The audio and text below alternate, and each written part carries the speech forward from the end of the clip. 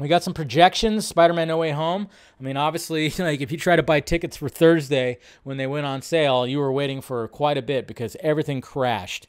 Everything absolutely crashed when it uh, when it came to that. So here we go right here. No Way Home's opening weekend swinging toward massive 190 to 250 million. Mind you, this is just domestically.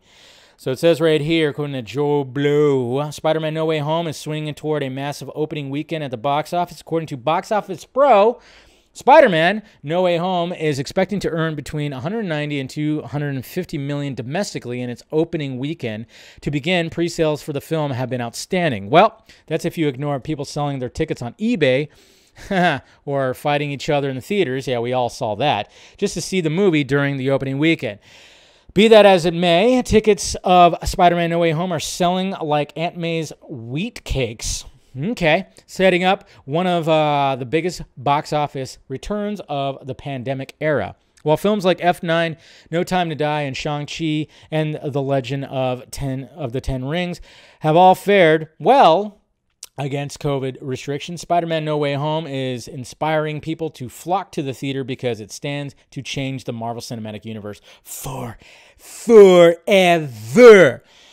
For real this time. You see, Spider Man No Way Home comes packed with yes, yes, yes, yes, yes. We all know that. We all know that.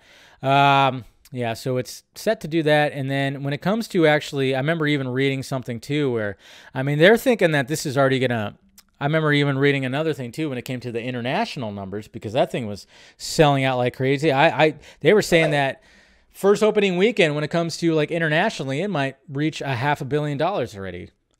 I don't know. Like I said, I think this movie's going to hit a billion dollars. I really do. I think it's going to pass a billion dollars. Do I think it's going to do Endgame numbers? I don't think so, but I do think it will cross the billion dollar mark.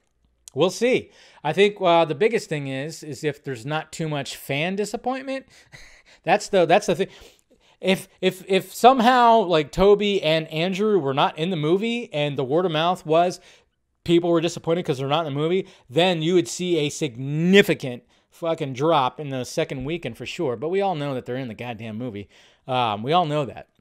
So I, I'm I'm just I'm just saying it's gonna reach a billion. I think it's gonna reach a billion. I, I really do. I think it's going to pass a billion.